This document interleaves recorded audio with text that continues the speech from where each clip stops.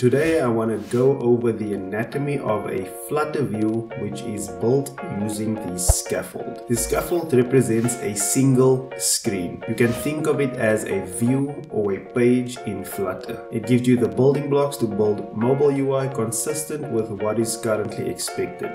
Welcome to the Full FilledStacks YouTube channel. Please subscribe if you are new and if you are not, welcome back. Let's look at some of those blocks. You can easily supply functioning app bar that changes its own state based on your navigation stack. You can also add a side drawer of any styling that can be pulled out by swiping from the left edge of the screen. You can also add a floating action button that floats above all of the UI in your scaffold. In addition to that, you can easily add your bottom navigation to your scaffold widget. Separately to the on-screen UI elements, there are also dynamic UIs built into the scaffold. One of the most used ones being the snack bar. The one other thing that the scaffold is also great for is subscribing to this channel. If you like this video, please do that. I have a lot more coming soon. The other dynamic piece of content that I want to mention is the bottom sheet. Those are the basic building blocks of a view.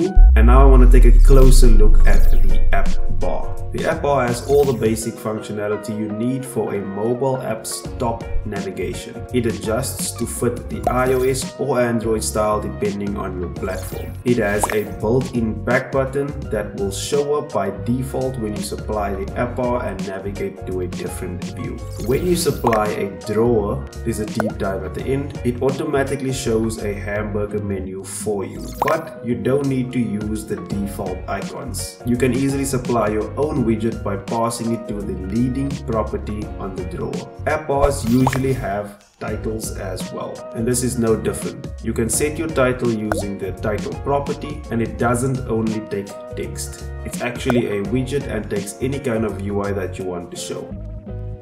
The other common thing around titles in app bars is that in some mobile apps it's placed in the center. In this case, you can simply set center title equal to true. Now you must be wondering how you can change the colors of these icons and titles globally. Well, you can simply supply a theme to your app bar. You can supply a text theme or you can supply an icon theme. The last common set of functionalities for the app bar is a way to provide the users with actions on your specific view. To do that, you supply a list of actions. Each action takes a simple widget. It's easy if you use the icon button for this functionality because it has the icon UI the proper spacing as well as the on-pressed handle that you can use to perform any action in your view.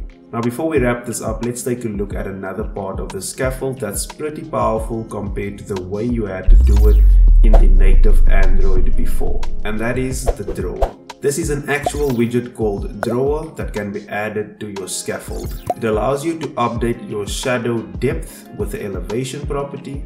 It has a property called Child that takes a single widget and I usually give it a column. Now in addition to the drawer, there's also more extra widgets that pair well with the drawer.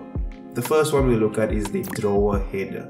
This gives you a basic drawer where you can add your own layout and child. But you also get the user profile header. This is specifically made for showing a user profile in the drawer. You can supply the email, name, and the profile picture. And lastly, you can supply ListTile widgets to get the basic navbar action item look. It takes in an icon, title, and an on tap function. That is the basic anatomy of a Flutter mobile view. Use the scaffold and friends to help build consistent mobile UIs and please don't forget to subscribe to this channel.